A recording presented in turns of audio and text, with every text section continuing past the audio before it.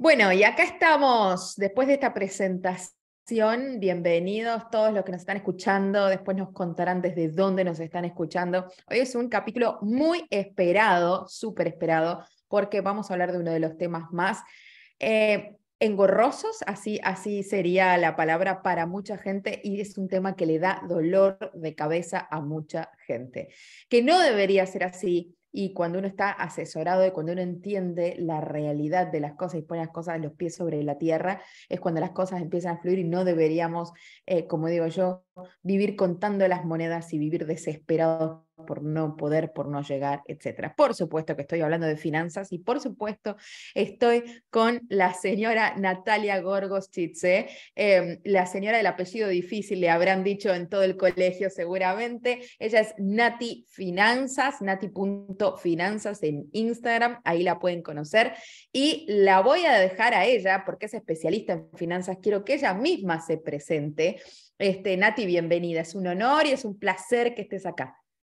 Gracias, Mary. La verdad es que el honor es para mí. Eh, no sé cómo presentarme porque suelo, suelo buscar esto de no, no, no cargarme de etiquetas y hacerlo lo más humano posible. Soy Nati, soy mamá de tres niños, estoy en pareja con Matías, vivo en Buenos Aires y hace muchos años, muchos, vengo estudiando las finanzas personales y practicando y poniendo en práctica Em, recursos que me hagan simplificar el día a día, no solamente desde lo financiero, sino desde los distintos aspectos de la vida que claramente se reflejan en el bolsillo.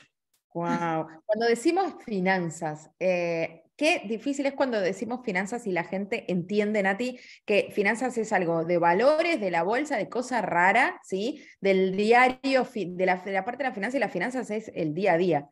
¿Qué, ¿Cuál es el término para vos, o sea, la definición? De las finanzas. Em, es la administración de los recursos. Ahora, los recursos, entendiendo todo tipo de recursos, es el tiempo, es valorar, es eh, mi recurso, mi energía, mi foco, ¿no? Es el todo eso, cómo lo administro para optimizar el resultado, ¿no? Es como cómo me manejo para que llegue todo más simple, sin tanto esfuerzo, correr un poco también estas, eh, estas cuestiones que hay sobre, justamente vos recién decías, uno dice finanzas y, empieza a pensar en lo difícil. Eh, y uno de, mis propósitos es eh, humanizar las finanzas, ¿no? Esto de dejar de ponerle tanta carga de, negativa a algo que manejamos en el día a día. De hecho, yo soy de, la escuela que considera que no nos falta educación financiera, sino que nos falta de la buena educación financiera, que es distinto. Porque todos aprendimos a manejar dinero hasta desde chiquitos, hasta vimos cómo manejaban el dinero desde chiquitos, todos vimos a alguien endeudarse, todos vimos, o lo vivimos en carne propia, hola, ¿qué tal? eh, todos vimos a alguien padecer la pérdida de la fuente de ingresos, o sea, todo el tiempo tenemos el estímulo de la educación financiera. No, no recibimos la buena, ¿no? La, la, que nos lleva a generar una, una previsión y después buscar aspiraciones. Lo que sí mamamos muy bien, muy bien, y esto lo hablo ya a nivel mundial, no solamente a nivel local Argentina, es que le ponemos, así como a mí no me gusta etiquetarme, le ponemos muchas etiquetas al dinero, le ponemos mucha etiqueta a la, coyuntura del país y ahí empieza todos los no puedo, ¿no? Es como, en este país no se puede ahorrar, con esta inflación, ¿qué voy a hacer? Em, no se puede pensar a largo plazo, ¿no? Empiezan a aparecer un montón de mitos alrededor de las finanzas que claramente hacen que después no quieras hacer nada. Total, total, total wow, em, me encanta, me encanta esto que decís porque es así y son las creencias con las que eh, nos vamos a poner con las que fuimos creados, ¿no? Em, Nati, siempre, ahí capté un poquito que dijiste endeudarse. ¿Siempre fuiste eh, organizada así con las finanzas? ¿Administración con mano de hierro con las finanzas? ¿Cómo, no, no, de hecho, yo vengo de una familia media, clase media, del interior del país, de la provincia, o sea, como vengo de, esa, de, una burbuja eh, de padres laburantes, que no sé qué, que tenían la posibilidad de mandar a sus hijos a estudiar a la capital del, país, entonces ese era lo que yo seguí, ¿no? Después sí Como yo, como sí. Claro. Em, y empecé a estudiar ciencia política. Em, la verdad es que siempre quise salvar el país, eh, siempre quise hacer justicia, eh, ayudar a los que menos tienen y demás. Y en el medio, claro, eh, esa capa hacía que yo me olvidara de ayudarme a mí y un montón de esas cosas. Em, terminé, o sea, me curtí en este viaje a la capital del país, empecé a conocer un montón de realidades y en esas realidades empecé a conocer lo que era una tarjeta de crédito, un sueldo negro, eh, un, un, un, no llegar bien con mis gastos, Em, tener necesidades y, empecé mal. Yo em, llegué a tener, debía tres meses de mis ingresos en una tarjeta que nunca había usado, que simplemente por haberla activado, em, nada, los intereses por el mantenimiento de la cuenta empezaron a hacer su magia y, y llegaron puesta. Eso también caía en estafas, o sea, un montón de situaciones que tenían mucho que ver con esto de vivir de, en, un, en una burbuja, de repente empezar a conocer que, para, la vida se trata de esto, y bueno, eh, ahí empecé a conocer las deudas, las intimaciones de los estudios jurídicos que te empiezan a llamar, no solamente a vos, sino que llaman a tu trabajo, a tu familia, eh, y empiezan a generar esa sensación, o sea, si uno ya vive con el estrés financiero, ¿no? Esto de cómo hago para manejar los números, tiqui, tiqui, tiqui, tiqui, y encima le sumo el estrés de que me están llamando de un estudio jurídico, que encima me avergüenza, porque la deuda genera vergüenza, y, que está avergonzándome delante de mi familia, delante de eh, mi trabajo, o sea, un montón de, de, lugares empiezan a enterarse de que yo estoy endeudada, fue como eh, tocar fondo, tocar fondo. ¿Y cuál fue, eh, Nati, cuál fue ese punto, como vos decís, ese punto de inflexión? Siempre, siempre, siempre en los grandes cambios hay catalizadores de la vida. Eh, y, hay, hay, algo, hay, siempre hay un punto, un catalizador que, que te lleva al decir, ok, no quiero más esto. Que decís, no, no quiero, no quiero vivir más así. O sea, llega un punto en el que vos decís, no quiero, no quiero vivir más así, no puedo. ¿Cuál fue en ese caso tu catalizador?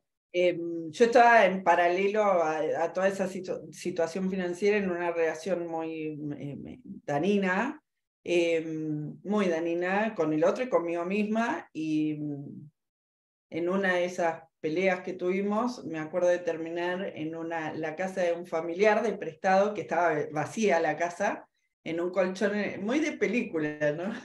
Pero me acuerdo y todavía se me pone la piel así como me, me, llena la angustia, me llega. Em, pero estaba en un colchón en el piso con el bolsito al lado de ropa, nada más, eh, el celular y mm, sentir un vacío de decir en qué momento perdí mi rumbo que me desconecté tanto de mí. De que está tan endeudada cuando venía de una familia estándar, o sea, no, no tenía sus pequeñas deudas, pero todo controlado, ¿no? Es como laburantes, pero en qué momento siempre alegre, siempre triunfante, siempre la mejor, y de repente estaba en una situación que no lo podía creer. Fue tanto el vacío y el miedo que sentí de cómo yo me sentía en ese momento, de las cosas que llegaba a pensar, que dije, no, esto no, esto no era lo que yo me imaginaba de chica. Y ahí fue que me levanté, no sé de dónde salieron esas fuerzas, pero fue esa conexión con ese vacío, porque la palabra es vacío, que fue como, nada, voy, me siento con el estudio jurídico a negociar la deuda. Wow, eso, eso, eso, sí, sí, sí. Fue esa emoción, mm. conectarme con lo que yo quería de mi vida y conectarme con, con la realidad que estaba, que no era para nada lo que yo quería. Em, y, ahí entendí, las finanzas personales son un reflejo de, la procesión que va por dentro, o sea, tu bolsillo va a estar 100% asociado a cómo vos te valores, a cómo vos te trates, a cómo vos trates el mundo, o sea, si no hay una congruencia entre vos y, y tu bolsillo y tu hacer y todo lo demás, olvídate, siempre vas a tener la misma situación una y otra vez.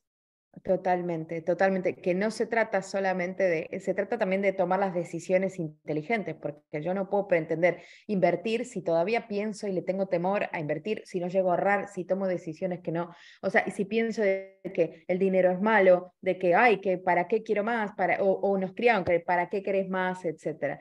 Y, y hablando un poco de esto, eh, ¿Dónde se le va la plata a la mayoría de la gente? Ah. O sea, concretamente al hueso. ¿Dónde a vos te llegan las consultas de la gente? ¿Cuál es el problema mayor?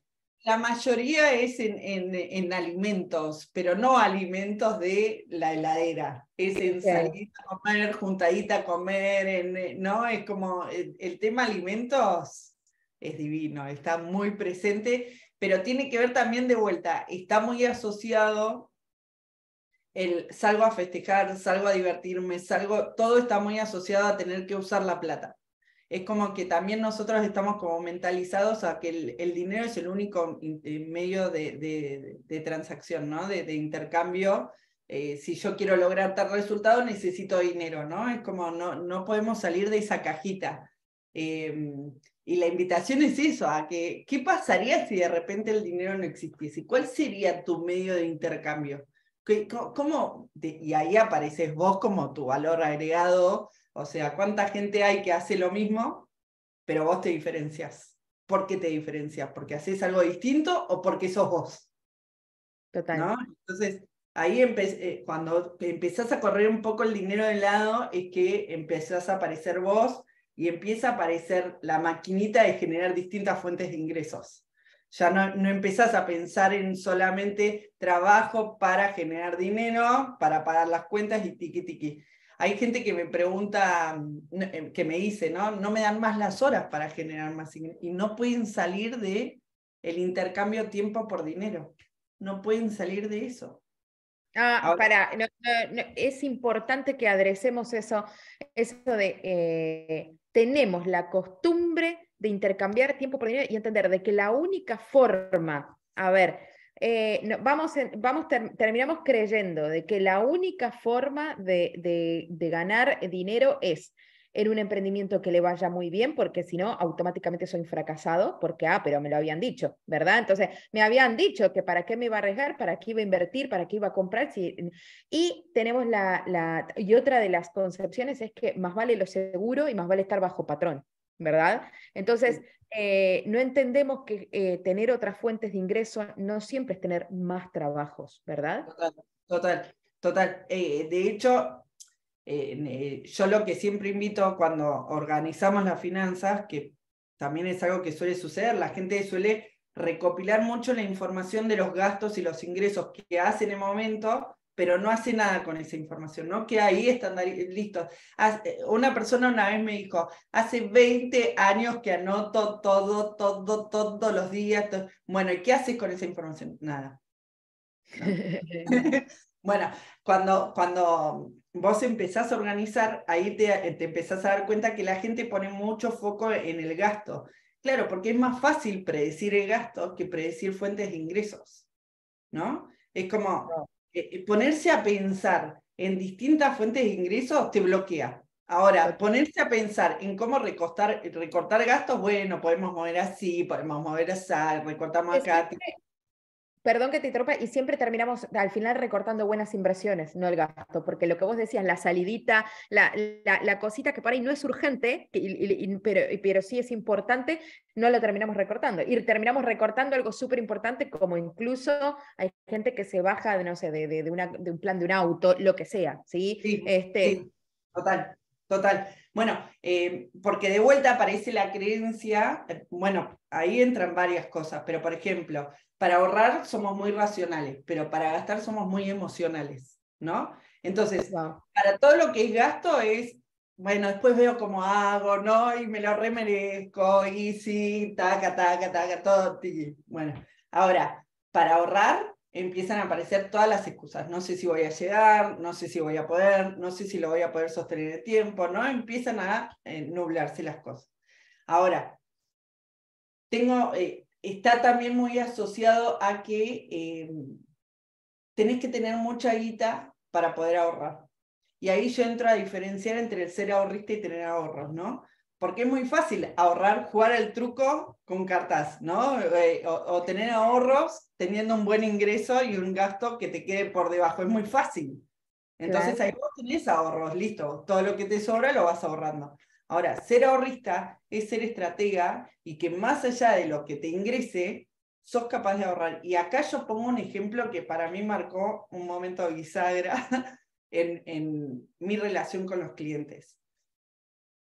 Yo, eh, hace unos años atrás hubo una mega devaluación de nuestra moneda em, y eh, yo tengo de cliente al, al CEO de una multinacional y al eh, señor de seguridad de una garita, ¿no? De un, nada, un señor de, de, los de menores ingresos.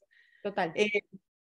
Cuando pase esa mega devaluación, ellos venían ahorrando el, el, CEO 400 dólares por mes y el de la garita 100 dólares por mes. Ya la, la, diferencia era muy poca para la diferencia de ingresos, ¿no?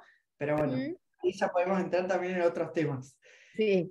Cuestión es que cuando pase esta mega devaluación me llaman los dos me junto con los dos y el CEO me dice, mira, Nati, eh, la verdad es que con todo esto me aumenta todo, no voy a poder sostener los 400, vamos a bajarlo. Listo, perfecto.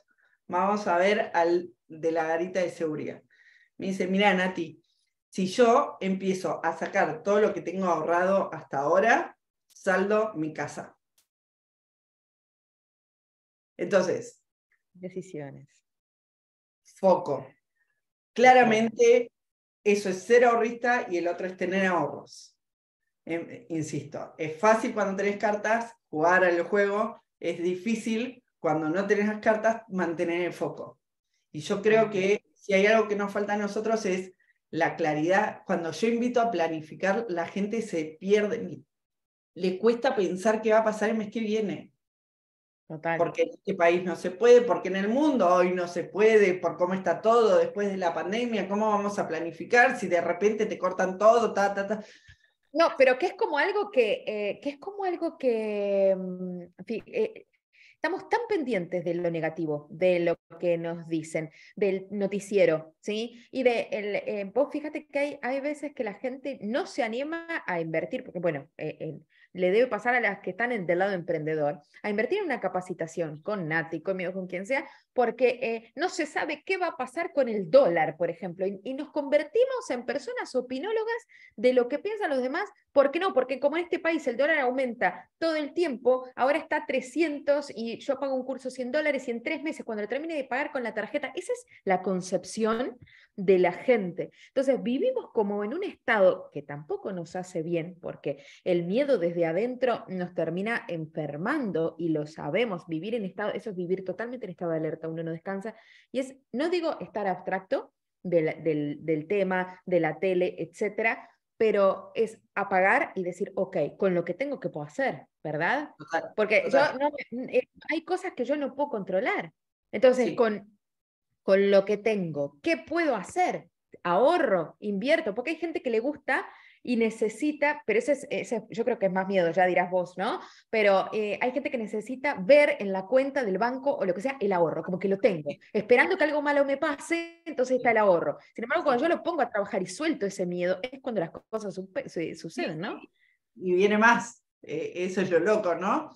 Em, de vuelta ahí aparece este eh, soltar el miedo al perder, soltar el control, aparecen, o sea, soltar las creencias que no son propias, porque también hay muchas generaciones que toman decisiones con los miedos de generaciones pasadas, no con decisiones propias. Crearon personas quebradas, entonces estamos mentalizados para que todo lo malo sucede. Sí, de hecho también me... Sí, perdón. me, ha pasado esto de, de, gente que me dice, eh, quiero la casa propia, ¿no? Quiero la casa propia y capaz que tiene 20, 30 años que vos con el, el, tipo de vida que hoy se vive, alguien de 20, 30 años que venga a decirte quiere a casa propia, medio que lo empezás a mirar con ojos dudosos. y, y empezás a indagar un poquito y cuando le preguntaste esto de querés la casa propia, es como que aparece, no, no es algo mío, es, algo, es un mandato preestablecido, ¿no? Es como algo que en casa siempre se dijo, bueno, vos trabajás, tenete un buen trabajo para tener un ingreso seguro, tenés que estudiar antes, eso sí, porque con título te pagan más, y ahí sí vas a poder tener tu casa, vas a poder tener tu auto y tus ahorritos y todo lo demás. Y entonces... En, en a nutshell, lo que, lo que estamos diciendo es, nosotros tomamos decisiones financieras, tomamos decisiones de toda la vida eh, basados en creencias que establecimos de personas que estaban quebradas porque todos nuestros viejos estaban quebrados y estaban ahorrando para la casa propia durante toda nuestra vida. Y lo único que hacían era juntar, no, le, no entendían lo que era el término inversión. Entonces yo eh, eh, soy un reflejo de cómo fui criada y sigo tomando esas decisiones basadas en el miedo, ¿no? Sí, sí. Que, que, que, también pueden ser heridas propias. Ahora, lo importante que uno tiene que saber es que, que como toda herida que uno se hace en el cuerpo, sana. Ahora, ¿cómo la sanás? A través de un proceso, no podés esperar también eh, saltearte ese proceso. Entonces, yo siempre digo, a ver, acá entro en algo que a mí me recopa, que es el tema de la etimología de las palabras. El ahorro se usaba para definir a los esclavos árabes que compraban su eh, libertad. No sabía eso. No, es, es, es, hermosa esa definición. Y de hecho, el trabajo, que cuando uno habla de cómo generar ahorros, inmediatamente piensa, retomando este tema que hablábamos, de trabajo. Em, el trabajo era un instrumento de tres palos que se usaba para castigar a la gente. Y bueno, ahora, cuando vos haces una escala de valores, ¿no? El trabajo aparece adelante, arriba de todo porque creemos que es como lo que me hace el día a día. O sea, yo gracias a mi trabajo puedo salir con mis amigos, puedo mantener a mi familia, puedo, puedo, puedo, puedo, puedo, ¿no? Eh, que me genera mi, mi, dinero. Ahora, cuando vos te cobras ese dinero, lo último que haces es ahorrar. Y ahorrar estamos hablando de separar un puchito, un restito para vos, para tu libertad. Y una de las cosas que más busca las personas es la libertad, y sin embargo la deja para el final. ¿Y la libertad financiera es no trabajar como se cree? ¿O ¿Qué sería la definición de libertad financiera? Que hay mucha gente que te debe, debe llegar a vos a la consulta con quiero la libertad financiera, estoy en un, en un multinivel, lo cual está buenísimo porque yo misma entreno gente multinivel y sé que llegan a donde quieren, pero eso no es la libertad financiera, o sea, pues sigo trabajando, sigo, sigo trabajando. Sí, pero una cosa es trabajar porque tenés que pagar las cuentas y otra cosa es trabajar porque te gusta producir. Y ahí es donde yo digo, no estás trabajando, estás produciendo valor, estás generando valor, ¿no? Es como empecemos a cambiar también la etimología para que también nos sentamos más cómodos. Si trabajar significa esto, bueno, estoy produciendo. Ahora, la libertad para mí es eh, la persona que tiene el dinero suficiente como para vivir tranquilo, quiere decir darse sus lujos, el video de reggaetón, tipo con los anillos de oro y el... no, tiene que ver con el, el, eh, esto, duermo tranquilo. Para mí libertad financiera es la tranquilidad, dormir tranquilo. Que, que una deuda no te despierte a la noche, ¿no? Total, que, que ah. sepas usar la deuda para, para, para crear patrimonio y no para la deuda para consumo que también pasa mucho eso, se usa la deuda para crear consumo y, y, quizás era una buena oportunidad para que te compres algo que termine generándote un ingreso pasivo. Y ahí es donde la cabeza empieza a trabajar diferente. Cuando pones foco, retomando, en el tema de los ingresos, cuando pones foco en cómo genero más ingresos, cómo hago que yo, mientras estoy generando mi valor acá, está la plata generándome otro ingreso. Y va a ser, insisto, un proceso al principio capaz que te da dos centavos esa plata que vos tenés trabajando. Pero va a llegar un momento donde como aprendiste a manejar lo chico, vas a saber manejar lo grande, vas a estar preparado para lo grande. Mm. ¿Por qué nos da, por qué nos da eh, tanto miedo invertir? ¿Y por qué el argentino promedio no invierte, sino que ahorra? Bien. Em, ¿Vos veías las novelas de, de Talía, Grecia Colmenar? Claro, María, María del Barrio, con mi abuela Herminia, claro que sí. Bien. ¿Quién era la buena? Claro, totalmente. La buena era la pobre, la rica lo malo y nos criaron con novelas como Los ricos también lloran, los ricos no piden permiso, El patrón del mal, todo lo el que tiene es malo. Entonces, los argentinos y los latinoamericanos creemos que el que tiene lo hizo robando, tiene un punto negro, es un chorro, ¿verdad? Cenicienta, Blancanieves, o sea, eh, podemos seguir a los dibujitos. El otro día veía, mm, eh, yo tengo tres hijos chiquitos, entonces eh, solo la veía por ellos, no porque a mí me guste, veía los Minions. Y mm, no, la, primera de los Minions, la primera película, mi villano favorito. Sí. Y el tipo está entrando al banco para financiar su proyecto, ¿sí? Y el tipo del banco es el demonio al lado del tipo del banco, o sea, es la misma, era lo mismo. Y cuando entrabas era toda una inmensidad y todo columnas gigantes y todo lo demás. Y el tipo que iba, sí, todo chiquitito, y eso que era un villano, todo chiquitito a buscar su préstamo, ¿no? Total. Digo, si, si, no, si, si todo el tiempo estamos incorporando conceptos como esos, o eh, el otro día eh, en una reunión una de las chicas me decía, es que para mí está muy latente, em, prefiero ser pobre a que me falten amigos, una frase así era. Claro, prefiero ser pobre pagado, prefiero, sí, sí, sí, sí. Todo rodeada de amigos, pero la plata le llega a ella y se la desprende, ¿viste? Se la desprende como para que nunca tenga plata. Eh, entonces, muchas veces tiene que ver con estos conceptos que aprendimos, estos mandatos que aprendimos que están inconscientes y está bueno hacerlos conscientes. Y también tiene que ver con la historia eh, nuestra, ¿no? Es como el argentino está muy acostumbrado, el argentino, y hay muchos países de Latinoamérica que les ha pasado de que están acostumbrados a que le metan la mano en el bolsillo. Entonces, frente a esa situación, em, frente a una, una, moneda que está golpeada y todo lo demás, el argentino lo que prefiere es ahorrar por las dudas, guardar por las dudas, que hacer crecer el dinero. De hecho, cuando vos trabajás, bueno, ¿para qué querés invertir? Es para ganarle en la inflación. O sea, ni siquiera está pensando en ganar dinero, sino que está pensando en ganarle en la inflación. O sea, que no pierda poder adquisitivo su dinero. ¿Cómo, es, eso lo, puedes, lo puedes repetir ahora? Porque seguramente de esto va a surgir, porque se escucha tanto tiempo, todo el tiempo el tema de ganar a la inflación, que creo que lo tenemos acá, entonces no entendemos la diferencia. Si lo puedes repetir. Eh, que, que, la gente se, se enfoca en ganarle a la inflación, en no perder poder adquisitivo, no es ganar más dinero, es hacer que tu dinero mantenga su valor actualizado es como los aumentos de sueldo. No es que te están haciendo un aumento de sueldo, te están haciendo un mantenimiento de sueldo ajustado por inflación. Si es que tenés la suerte de que ajuste por inflación. Porque por Entonces, claro, si yo tuviera otra fuente de ingreso pasiva, ¿sí? por ejemplo, eh, que ahora vamos a hablar de cuáles, este, yo podría no solo ganar la inflación, sino estar tranquilo hacia la libertad financiera, de no tener que correr atrás de la comida.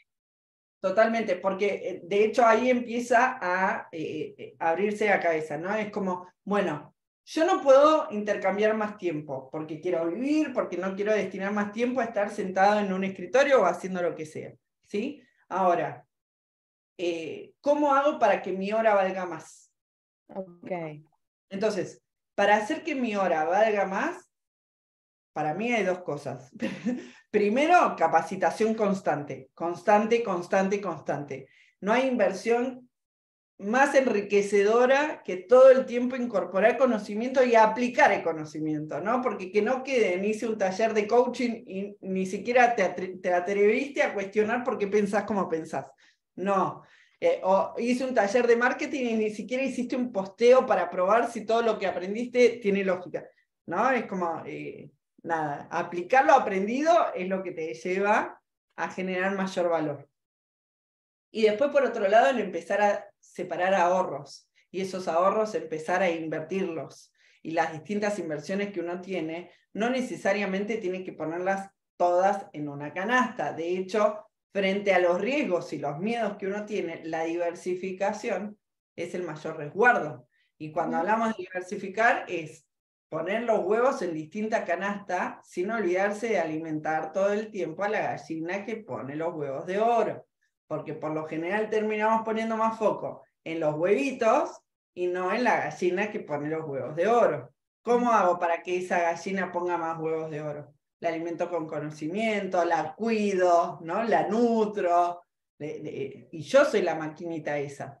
Yo soy la, gallina que pone los huevos de oro míos.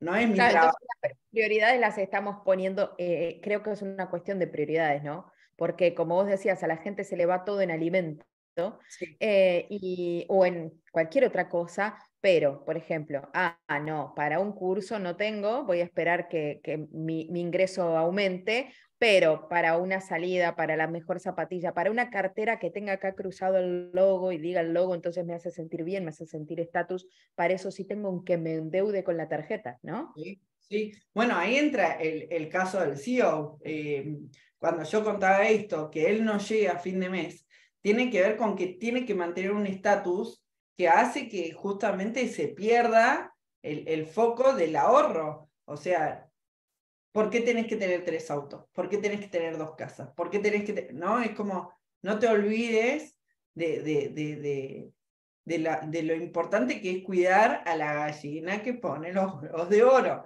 Sos vos sos vos la que tiene que estar tranquila. Entonces, me ha pasado un montón de veces de juntarme con gente de que sí, tengo dos departamentos acá, tengo 50 mil dólares abajo del colchón, perfecto. Pero no como a la noche porque no llego a fin de mes. Sí, lo conozco, sí, sí, sí, conozco la situación. Sí, sí, sí. Un montón de casos hay así.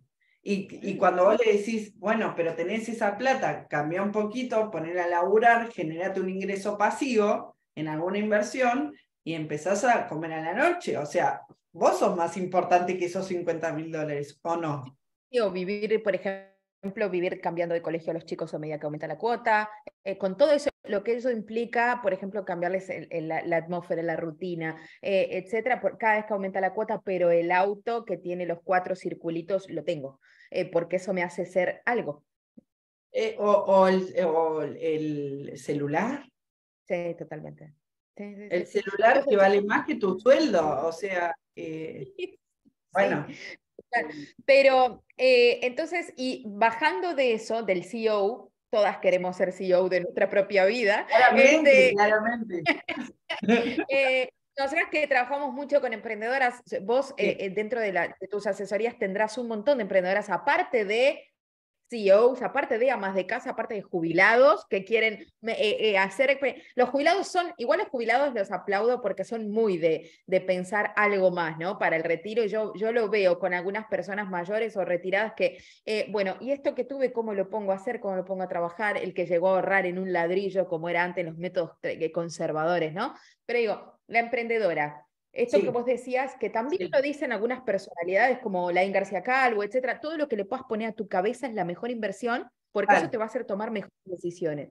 ¿Cuál es el miedo de la emprendedora a ¿Por qué, está, ¿Por qué, estamos en un punto donde, porque seguramente te debe llegar personas que te dicen, tengo un emprendimiento, todo lo que gano lo vuelvo a invertir, nunca llego a nada, bueno, pero te capacitas en finanzas para hacer, no, no puedo, hasta que mi emprendimiento no camine, hasta que yo no gane más, no me voy a poder capacitar, hasta que yo no tenga esto. ¿Cómo, que, cómo se, se trata con eh, eso?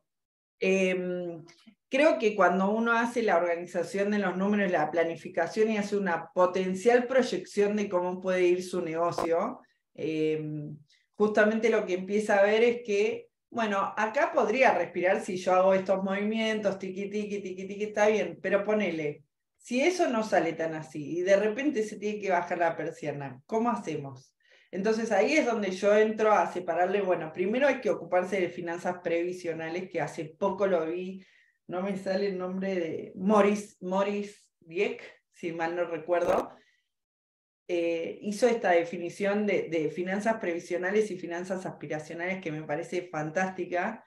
Y ahí es donde le digo, bueno, primero, para mí está perfecto que sigas invirtiendo en tu negocio. Ahora, también tenemos que ocuparnos de unas finanzas previsionales. ¿Por qué? Porque también tenemos la costumbre de hacer una proyección de nuestros negocios y todo lo demás mensualizado. Y no paramos la pelota para decir, pero para, el giro de mi negocio es mensual, porque lo estamos organizando por los gastos, no por los ingresos. ¿Sí? El oh, giro de mi negocio. ¿Es mensual o es diario? ¿O es semanal? ¿O es quincenal? ¿Cómo es el giro de mi negocio? Entonces yo tengo que hacer mi planificación, ahí está la humanización, ¿no? No tengo que hacer que el manual, yo adaptarme al manual, sino hacer que el manual se adapte a mi realidad. Entonces hacer una planificación. Si mi negocio tiene un giro quincenal, ponele, bueno, perfecto. Hago la planificación y digo, bueno, listo, si yo, yo tengo que lograr este resultado para empezar a tener un saldo positivo, ¿no? y empiezo a separarme a mi sueldo de todo lo que sabemos que hay que hacer cuando uno empieza su emprendimiento, pero por lo general no lo hace. Listo. Eh, si vos empezás a tener un orden, es clave, clave que empieces a tener un fondo de emergencia personal y un fondo de emergencia para tu negocio. ¿Sí? creo que la pandemia nos dejó esa lección. Tenés que tener un respaldo para tu negocio. Si mañana tu negocio tiene que dar un giro 360 porque la coyuntura te obliga a hacerlo, vos tenés que tener un respaldo. No lo podés tener todo en mercadería.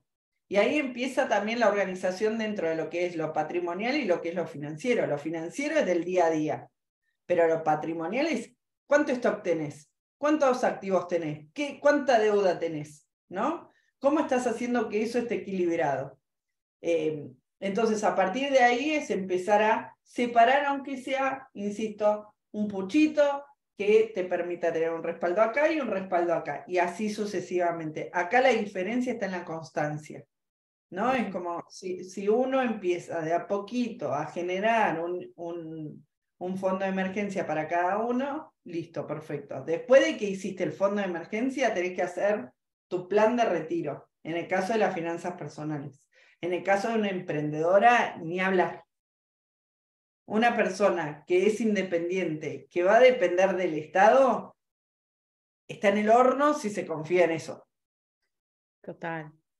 Y ahí en el juego también nuestras, eh, y es importante, me, gustaría que lo, lo recordemos, Ahí es súper importante y entra en juego esto que vos recién decías. Si, si yo soy una persona independiente que el día de mañana va, espera cobrar una jubilación o voy a depender del Estado, estoy medio al horno porque, porque no, no, no puedo eh, quizá el día de mañana recuperar por ahí lo, lo, lo, que pagué, ¿no? Pero, y ahí entra en juego el famoso, tenés que tener algo más para el futuro y las creencias limitantes de que para qué crees más porque yo conozco mucha gente que dice, ya tenés tu casa, ya tenés tu auto, ¿para qué querés más? ¿Para qué trabajas más? Y sin embargo tenés otra gente que tiene dos, tres, cuatro propiedades de, alquiler o lo que sea que sea tu futuro ingreso, porque vos te vas planeando tu vejez. Sí. Entonces, eh, ¿cómo, cómo, es, ¿cómo se empieza a pensar en lo previsional, como decías vos? Sí. Em, yo creo que es esto, primero lo, de separar y todo lo demás, también amigarse con el estilo de vida que uno quiere y no con el estándar que el otro quiere sobre vos, ¿no? El problema es el otro. No está mal tener, no está mal tener. El dinero es un potencializador, no es un definidor, no sé cómo decirlo. Pero el dinero no te define a vos como persona, la etiqueta a vos no te define como persona. Lo que te, eh, si vos tenés más dinero o menos dinero, eh, no te define a vos como persona. Está la creencia esta de que el que más tiene, entonces es un gar, que no sé qué. Hay algo que sabes que dice mi, mi, mi mentor, que es Grant Cardone, que es un gran inversionista, uno de los, mm, es un capo, y él siempre dice, y te lo dice con todo el bozarro, él tiene unas formas medias así, pero te dice, eh, ya sé que el dinero no compra la felicidad, pero la pobreza no compra nada. Yo sé que el dinero no compra la felicidad. Yo lo cambié adaptándolo un poco a la humildad argentina. El dinero no compra la felicidad, pero no tenerlo no compra nada. Y te dicen, no, no compra la salud. No, ok, no compra la salud, pero accedes a que te atiendan más rápido, accedes a un mejor plan de salud, accedes a eh, que si, es irreparable, por lo menos la persona eh, va a, morir en un lugar eh, más digno o lo que sea, sino porque la salud pública en Argentina es muy buena, pero en otros países de Latinoamérica el dinero eh, compra la salud porque no tenés atención pública, o sea, no, te, no existe la atención pública en cualquier otro lado. Eh, compra el estudio para tus hijos y, y, compra la maestría que quieren hacer y compra la casa para tus papás que no pudieron tener porque tuvieron toda la vida alquilando tus viejos, eh, compra esa casa para, compra tu futuro y tu, el dormir tranquilo. Sí, sí, y, y creo que también lo que más miedo nos da del dinero es que por lo menos ahora pensándolo, es que si está tan asociado al valor personal de cada uno, creo que nos damos miedo a nosotros mismos, a lo que podemos nosotros mismos llegar, ¿no? Es como... Impresionante.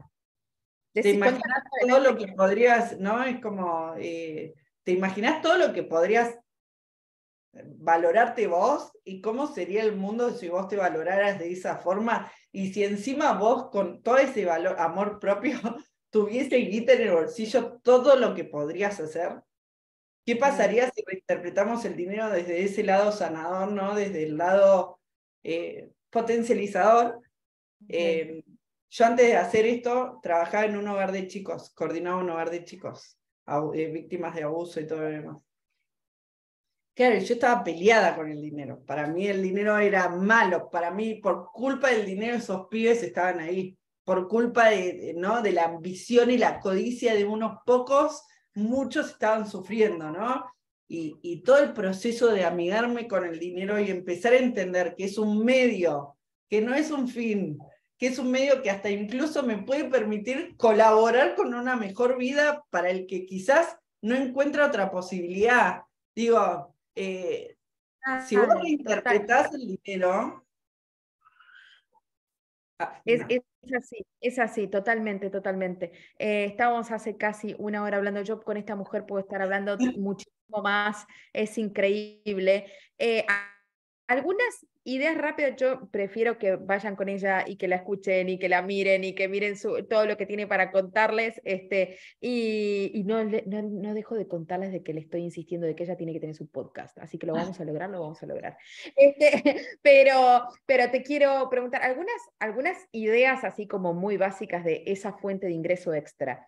¿Qué es lo, rápido que puedo hacer con poco? ¿no? Con 50 mil dólares, porque en este momento no los tengo, voy a llegar a eso, me tengo que actualizar, así, e, e, esa cabeza de, ir para adelante. Sí, em, tanto para el que recién está empezando como para el que quizás ya tiene un montito armado, eh, siempre está bueno pensar en tres tipos de ahorro, el de corto plazo, que es el fondo de emergencia, el de mediano plazo, empezar a tener fondos para los gustos, está muy disociado, el disfrute con el dinero, es como, el dinero lo y, no, lo, no lo gastamos, ¿viste? No, no tenemos esa sensación de yo me puedo pagar el viaje a Cancún. No lo pensamos así, es como lo tarjeteo, después veo cómo hago, ¿no? Entonces separar un monto de dinero para eso está bueno. Y ahí entran instrumentos quizás como los fondos comunes de inversión, que en todos los lugares del mundo hay, entran eh, instrumentos como los plazos fijos, depende del lugar donde estés, más o menos rentabilidad, pero son conservadores y como esos objetivos son inmediatos, está bueno considerar esos instrumentos.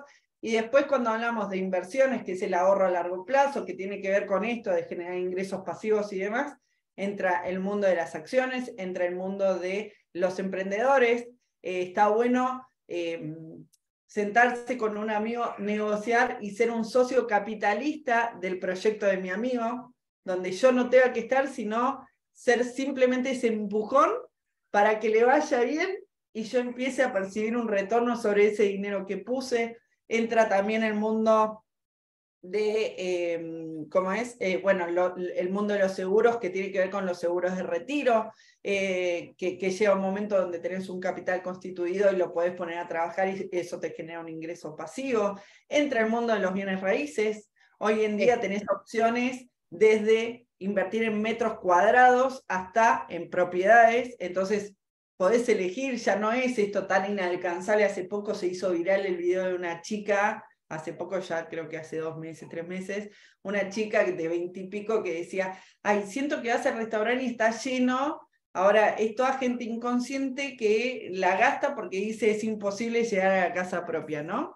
Em, y no, hay, a ver, eso tiene que ver con las expectativas que uno tiene versus la realidad, ¿no? Es, la, información que uno recibe, que no muchas veces es de fuente fidedigna, pero la recibe a esa, a esa información y la, la opinión la termina haciendo, la termina colapsando con un hecho concreto, ¿no? Es como termina creyendo que eso es una realidad inamovible. Entonces, em, empezar a entender que hay varias herramientas que se ajustan las herramientas a la realidad de uno, te da oportunidades que si empezás a, si creyese que vos no tenés eh, la posibilidad de alcanzar esas herramientas. Total. Para, quienes están, para quienes están en Argentina, ¿los fondos comunes de inversión son, por ejemplo, los CDRs? Eh, no, los CDR son otros instrumentos. ¿sí? el, el CDR es eh, para el que está en Argentina, si no tiene cuenta afuera, hay acciones que cotizan afuera que a uno le interesaría invertir, pero no lo puede hacer porque no tiene cuenta afuera. Entonces lo hace a través de estos certificados. Lo que tiene uno este certificado para el argentino es que lo saca del riesgo país porque está invirtiendo en una acción que cotiza afuera y lo ajusta a, sus pesos a una inversión que está dolarizada, que está en una moneda mucho más estable que la nuestra. ¿Está bien? Los fondos con una inversión eh, los podés hacer a través de tu banco, los podés hacer a través de un broker. Lo ideal siempre es ir a través del broker, porque el banco lo hace a través de un broker, o sea, es un intermediario más. Eh, el broker lo que tiene es que se especializa en el tema y entonces te da quizás la orientación que vos necesitas. Ahora, está bueno siempre tener a alguien que te guíe, que no sea em, específicamente ese broker, porque capaz que está primando sus intereses y no los intereses. Sí, sí, sí, como un negocio. Eh, alguien que te coache en eso, que te asesore, que te guíe. Sí. sí. Y siempre acordate esto, ¿no? Podés empezar, hay acciones que cotizan, no sé, 50 pesos. Podés comprarte una acción a 50 pesos y probar eso, ¿no? Ahí no hay excusa válida. Eh, cualquiera lo puede hacer. Tal eh, cual, tal cual. Cuando empezás a, a, tomarle el gustito, ya es como, eh, los, los 50 los transformamos en 500, los 500 en 5000, los 5000, ya empezás a, a generar. Y a la larga, y a la larga porque todos somos seres humanos y somos eh, eh, personas de, que necesitamos constantemente la gratificación, eh, a la larga también cuando empezás a ver esos resultados. Lo retires o no, pero cuando empezás a ver que esa acción pagó, que esa está subiendo, wow, tengo esto. ¿Viste? Entonces decís, ok, es lo que vos decís, me da eh, y, después decís, ¿cómo no lo hice antes? Eh? Sí. Ojo, eh, a veces se puede perder en esto, ¿eh? pero la pérdida con el tiempo se recupera. también es entender que hay reglas del juego. ¿Qué sé yo? Por ejemplo, a menor riesgo asumís, menor es la rentabilidad que vas a tener, a mayor... Pero probando. Claro, pero vas probando. Si querés esto, si vienen con un negocio que te da mucha rentabilidad, vos tenés que ya automáticamente saber, listo, estoy poniendo mucho riesgo acá. ¿sí? Ahora, ¿quiere decir que no lo voy a hacer? No, quiere decir que podés poner un porcentaje ahí y poner otro porcentaje en algo conservador, cosa de que te cubra en caso de que ese negocio no salga. Por eso la diversificación es clave. Eh, pensar en distintos plazos también hace que no, no estés con esto de querer la gratificación inmediata. Si vos tenés algo de, corto de mediano plazo, corto plazo, te sentís que podés cubrir esa necesidad de la gratificación inmediata con eso y no con el de largo plazo, el de las acciones solo por estilo. Entonces, es un juego que uno tiene que hacer. Sí, y por eso hay que estar bien asesorado eh, y seguirla a ella, Nati Finanzas. Eh, y la última, que, la última que te pregunto eh, ¿algún consejo, o sea, no milagroso, pero sí como que yo lo pueda poner en práctica ahora para reparar mi finanza, para reparar mi crédito en este momento? Yo no sé, acá en Argentina, no, le, no sé si se le da tanta bola, se tiene tanto con el tema del crédito, nos está escuchando mucha, mucha, mucha emprendedora y no emprendedora y mujer eh, latina que vive, por ejemplo, en Estados Unidos. Y en Estados Unidos, ¿sí? No existe el dinero, existe el crédito Vos sos el, crédito que tengas, o sea, tu score, que va desde 300, que es muy malo, hasta 800. El 800 es excelente y muy pocos lo tienen, pero siempre lo normal es mantenerlo entre 600 y 700. Y la gente, literal, hay empresas que se dedican a ayudarte a reparar el crédito cuando te mandaste un moco con las tarjetas, con el alquiler. Todo depende del crédito, hasta la universidad que puedas mandar a tus hijos, es una locura tenemos que agradecer que en algunos lugares acá no nos pasa lo mismo, ¿sí? sí. Pero tenemos un score y también tenemos el tema de estar enterrado hasta acá porque tenemos mucha facilidad con las tarjetas de crédito en Argentina. Claro, totalmente.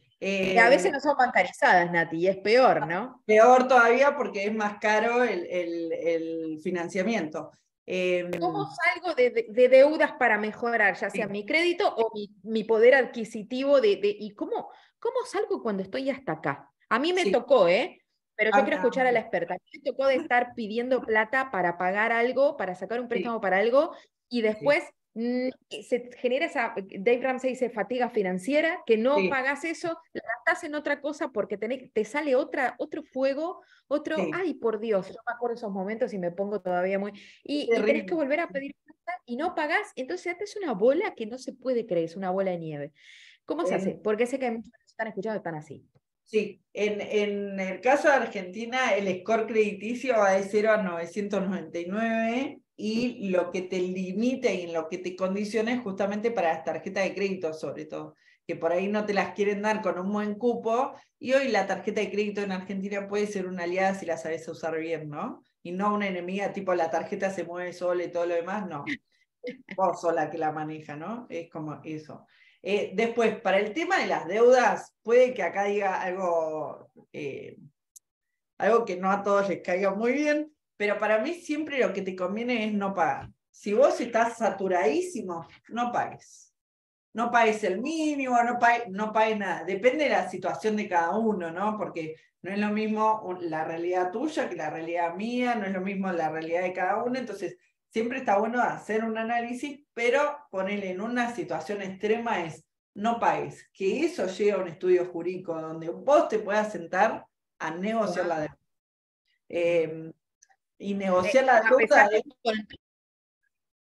todos los que te amenazan, porque lo que más miedo tiene la gente es de caer en un estudio jurídico, porque en Argentina tenemos la famosa cultura de la carta documento. Entonces la gente piensa que te llega una carta documento y mañana terminas preso. Cuando no es así, una carta documento es un método de comunicación documentada, ni más ni menos, es así. Eh, entonces, lo que está diciendo, me parece que, eh, ahí te, perdón que te interrumpí, pero me parece esto eh, súper inteligente lo que estás diciendo. Pero no por eso enloquecerme, ¿verdad? De decir sigo gastando, sigo generando más deuda. No, no, de hecho es cuando más ordenado te tenés que poner, porque de, hecho es el no pagar acompañado con un, bueno, me siento, ordeno los números, me armo un presupuesto, me mantengo firme con ese presupuesto para que para saber cuál es mi recurso real para pagar la deuda que yo tengo. ¿Sí? Porque yo cuando me vaya a sentar con el estudio, no es que no voy a pagar la deuda. Lo que voy a hacer es negociar la deuda que yo tengo pagándola con el recurso que yo dispongo. Ahora, si el recurso que a mí me queda para poder direccionar la deuda es de 10, no voy a poner los 10 en pagar la deuda, porque de vuelta aparece un incendio, ¿qué hago? Voy a pedir un crédito, no. Separo 5 para pagar la deuda y 5 para mi fondo de emergencia. Ahora, si tengo varias deudas, está el, sistema de bola de nieve, que lo que uno hace, yo la he usado, lo que hice fue ordenar las deudas, cuánto debía, quién le debía y a qué tasa de interés. La ordené por la tasa de interés. Claramente no pagué la más cara, eh, esa es la que fui a negociar y el resto fui pagando con el mayor esfuerzo que podía, la, la más grave y después seguía con la otra, ¿no? Me enfocaba en una a la vez, que ahí entra en juego el estrés financiero. El estrés financiero es uno de los daños actuales eh, más latentes, es algo que, ponele, en, en promedio hay personas que entre 5 y 6 días al mes no duermen o piensan cómo resolver su situación financiera. ¿Cómo? Eh, eh, no, no, es que no me entra, no me entra en la cabeza el nivel de, de, porque después eso es eh, comida para el médico, es así. no, no tenía esta estadística, por favor repetila que me parece fundamental. Entre 5 y 6 días al mes direccionados a pensar cómo llegar a fin de mes, cómo salir de la deuda, cómo, qué hacer con mis ahorros, porque también tengo miedo de perderlos, porque no sé qué, qué esto... hay gente que no duerme, cinco, no duerme toda la noche cinco o seis días al mes pensando en cómo pagar sus deudas. Es una locura. De hecho, eso se refleja en la productividad, entonces vos no, no vas a tener, claramente, no descansas bien, no vas a tener la misma productividad. Eso también se refleja en cuestiones de salud, empieza no solamente salud física, salud psíquica, empecé a tener mayores trastornos de ansiedad, trastornos de angustia, empezás a tener em, cuestiones, em, ¿cómo es? Eh, colon irritable, eh, eh, gastroenteritis, un montón de enfermedades que tienen que ver con estrés financiero. y el estrés financiero es por desorden, no es por otra cosa. La gente cree que tiene que ver con el cuánto y no es con el cuánto. Es eh, con la expectativa que vos tenés del nivel de vida que querés, con el, un montón de cosas que no tienen que ver con el cuánto. Total. Eh, Nati, te quiero recontra agradecer por haber llegado hasta acá, por haberme acompañado. Ella es Natalia Gorgoschitze, eh, la del apellido difícil. y, una, vez me dijeron, una vez me dijeron, es más fácil llegar a fin de mes que decir tu apellido. Natalia Gorgochitze, especialista en finanzas, eh, eh, ayuda, consejera financiera, eh, bueno, como la quiera llamar, ella dice que no le gusta encasillarse. Ella en Instagram es Nati Finanzas y es una mujer que te asesora desde también haber estado en ese momento en el que vos estás. Así que Em, la van y la siguen a ella, la conocen a ella y, ahí pueden eh, también capacitarte, capacítense en esto, pongan acá y les va, o sea, en la cabeza y les va a dar acá en el bolsillo. Nati, te quiero agradecer tu enorme generosidad de haber estado acá, para mí es un placer, es un honor, he aprendido muchísimo de vos y sé que para los demás también. No, gracias a vos. Para mí es todo un placer estar acá. Soy muy fan, muy fan de todo lo que haces eh, creo que hay pocas cuentas hoy que suman tanto valor como lo haces vos. Así que gracias eh, inmensas por todo lo que vos nos brindás a nosotros. Gracias, es un honor, un placer y acá cerramos. Gracias por estar. Eh, bien, las dejo ahora y nos vemos en el próximo capítulo.